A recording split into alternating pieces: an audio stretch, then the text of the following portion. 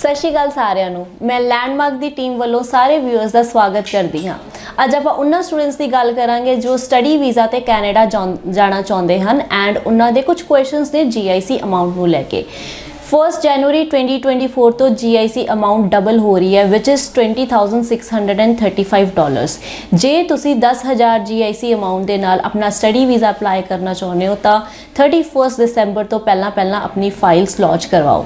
ਇਨ case ਤੁਹਾਡੇ offer letter ਆਉਣ ਦੇ ਵਿੱਚ ਡਿਲੇ ਹੋ ਰਿਹਾ ਹੈ ਤਾਂ ਆਪਣੇ ਆਫਰ ਲੈਟਰਸ ਵੀ ਜਲਦੀ ਪਾਉਣ ਲਈ ਕਈ ਸਟੂਡੈਂਟਸ ਨੂੰ ਹੁੰਦਾ ਹੈ ਕਿ ਅਸੀਂ ਆਪਣਾ ਆਫਰ ਲੈਟਰ ਕਿੱਦਾਂ ਜਲਦੀ ਪਾਵਾਂਗੇ ਜਾਂ ਸਾਡਾ ਸਾਰਾ ਪ੍ਰੋਸੈਸ 31 ਦਸੰਬਰ ਤੋਂ ਪਹਿਲਾਂ ਕਿਵੇਂ ਹੋਊਗਾ, ਤਾਂ ਲੈਂਡਮਾਰਕ ਇਮੀਗ੍ਰੇਸ਼ਨ 24 ਆਵਰਸ ਦੇ ਵਿੱਚ ਵਿੱਚ ਤੁਹਾਨੂੰ ਆਫਰ ਲੈਟਰ ਇਸ਼ੂ ਕਰਵਾ ਕੇ ਦੇਗਾ।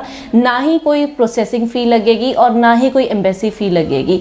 ਜੇ ਤੁਹਾਡੀ ਫਾਈਲ 31 ਦਸੰਬਰ ਤੋਂ ਲੇਟ ਹੁੰਦੀ ਹੈ ਤਾਂ ਡਬਲ GIC ਅਮਾਉਂਟ ਕਰਨੀ ਪਵੇਗੀ।